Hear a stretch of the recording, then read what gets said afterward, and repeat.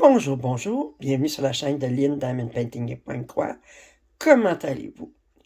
Déjà, le début de la semaine 8 des Petites Croix givrées, on est rendu à la moitié. Yeah! Alors, euh, fait que sans plus attendre, on va tirer voir quelle case on va faire cette semaine.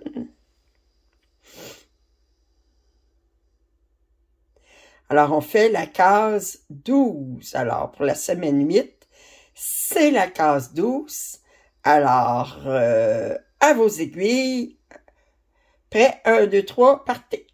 OK, alors, euh, je souhaite bonne semaine à toutes. Puis à très bientôt. Bye.